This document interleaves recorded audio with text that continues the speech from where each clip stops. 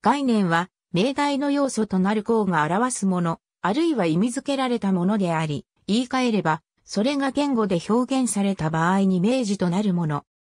人が認知した事象に対して、抽象化、普遍化し、思考の基礎となる基本的な形態となるように、思考作用によって意味付けられたもの。哲学では概念を notion、Begriff というが、日常的にコンセプト、 Konzept という。日本語訳は聖集によって作られた。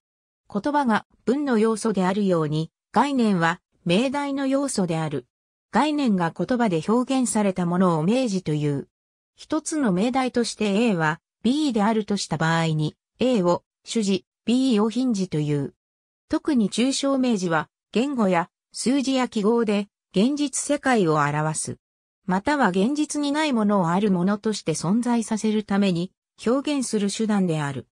人の手による絵画、書画、曲、文芸等の作品は作者がその作品に込めた意図、意象、目的、思い等の概念を有し、これを表現しており、作品のコンセプト等と言われている。また、受け手の感じ方によって新たな概念が付加される場合があり、作品に接する時代性や社会的価値観などの変化に伴って変わる。芸術における概念は、心で感じ取ったものを二次元、三次元で表現したものと言える。音楽も同様で、心で感じ取ったものを楽器の音、人間の声を構成して表現している。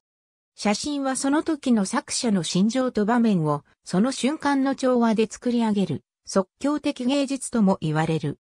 とはいえこの用法はいわば比喩的表現であって本来の普通の意味で用いられている概念、つまり抽象的認識作用のことを意味するのではないであろ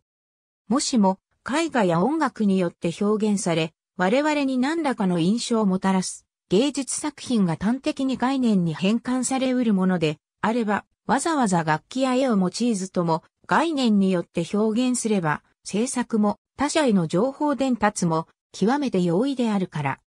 例えば花の絵があるとして、その絵は単なる花という概念よりも多くの情報を持ち、我々はそれによって単なる概念以上に何らかの心的影響を受けている。そうであるならば、作品とは概念を表現するものであるという説明は実際に起きていることと矛盾している。さらに、もしも概念によって芸術的技能に寄与することがあるとすれば、わざわざ楽器や絵画の実際的練習を積まずとも、教則本などによって概念による抽象的認識を得れば、それでこと足りるはずであるが、実際はそうではない。故に、概念を言葉を用いた抽象的認識と定義するならば、この項に書かれているような意味で概念という語を用いるのは適切ではない。ありがとうございます。